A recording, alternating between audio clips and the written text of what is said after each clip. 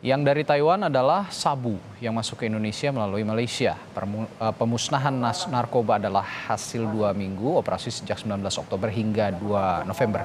Dari operasi tersebut, polisi menangkap 330 tersangka yang terdiri dari bandar, pengedar, serta pemakai narkoba. Dari total 57 target operasi yang terbagi menjadi 53 target perorangan dan 4 target tempat pihak kepolisian baru berhasil mengungkap 44 target perorangan dan satu target tempat. Berapa banyak narkoba yang dimusnahkan dan berapa sindikat yang terlibat diungkap polisi? Kita temui rekan Dani Saputra dari Polda Metro Jaya. Dani, berapa banyak narkoba yang dimusnahkan dari uh, dua pekan operasi uh, di, lingkung, uh, di lingkup kepolisian Polda Metro Jaya? Ya, selamat siang Radi. Uh, setelah uh, dua pekan digelarnya operasi kewilayahan uh, Nila Jaya 2020 ini sudah dikumpulkan ratusan kilogram uh, barang bukti narkoba dan juga sudah ditangkap sekitar uh, 330 tersangka terbagi menjadi 8 orang bandar, 805 orang pengedar dan juga 37 orang pemakai. Untuk untuk barang bukti narkoba yang sudah dikumpulkan menjadi barang bukti tadi baru saja dimusnahkan dengan mesin insenerator dengan suhu tinggi gunanya tujuannya ini agar uh, tidak disalahgunakan uh, oleh pihak yang tidak bertanggung jawab. Pembagiannya ini ada 190 kg sabu, ada 265 kg ganja, ada 9.600 butir ekstasi, ada 8,16 kg tembakau gorila, 572 butir Happy Five dan juga 18,51 kg bubuk ekstasi. Selengkapnya akan uh, kami hadirkan pernyataan selengkapnya dari Kapolda Metro Jaya Irjen Pol Nana Sujana.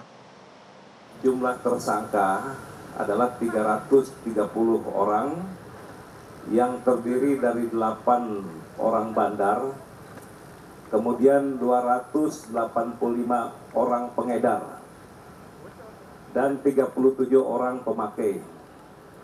Sedangkan barang bukti yang berhasil kita ungkap dalam operasi nila adalah sabu sebesar 190 kg, ganja 265 kg, ekstasi sebanyak 9.300 butir, kemudian tembakau gorila sebesar 8,16 kg.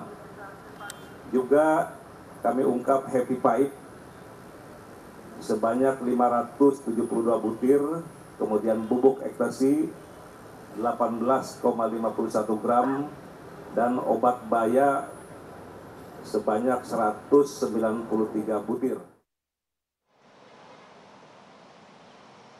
Nah, itu uh, tadi yang sudah uh, barang bukti dari gelaran tahun 2020. Uh, eh, tadi uh, sempat uh, saya lihat dari data-data uh, operasi Nilajaya tahun lalu di tahun 2019, justru barang bukti uh, kita ambil saja contoh dari sabu dan ganja dan juga ekstasi. Ini merupakan uh, jenis narko jenis uh, narkoba uh, yang mendominasi dari barang bukti ini biasanya. Justru tahun lalu ini uh, justru lebih sedikit. Untuk sabu dan ganja saja ini tidak uh, melebihi uh, dari 100 kg.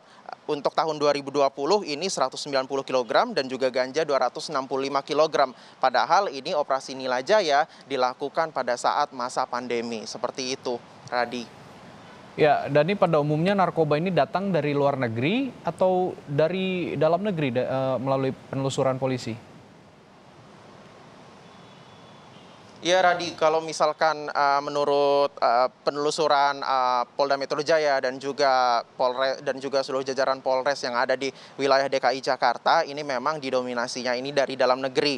Kebanyakan ini memang datang dari Aceh dan juga Riau. Untuk ganja secara spesifik untuk ganja ini datang dari daerah Aceh dan juga Sumatera Utara. Meski begitu uh, masih ada barang bukti uh, narkoba yang datang dari uh, luar negeri. Ini yaitu sabu sabu yang datang dari Taiwan. Nah ini uh, kalau misalkan dari penelusurannya datang dari Taiwan ini dimasukkan dulu uh, melalui uh, Malaysia lalu baru sampai uh, di Indonesia seperti itu. Namun saat ditanya tadi apakah ada jaringan internasional uh, ataupun luar negeri yang terlibat uh, yang bisa diungkap dari operasi Nilai Jaya 2020 ini, namun Kapolda Metro Jaya uh, menyampaikan untuk tahun ini memang tidak ada uh, jaringan internasional yang terlibat semuanya. Memang yang ditangkap dari 330 tersangka ini memang uh, hanya dari uh, WNI saja seperti itu, Radi.